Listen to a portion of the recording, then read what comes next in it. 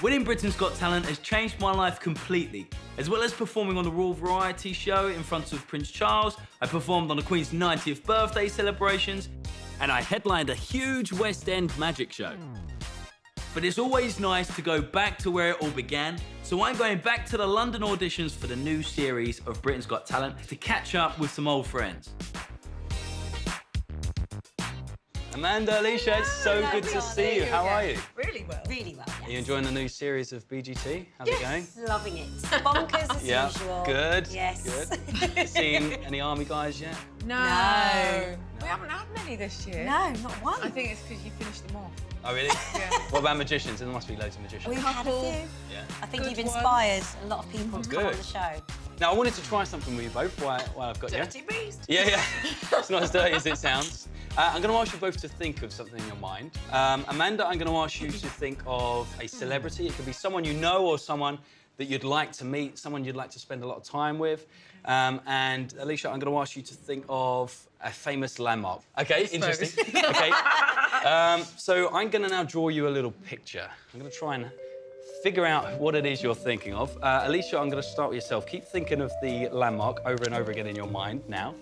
Uh, like, keep saying it over and over and over again in your mind. Interesting. Um, and Amanda, if you could do the same, so keep thinking of your celebrity over and over and over again. Now, my drawings aren't actually very good at all.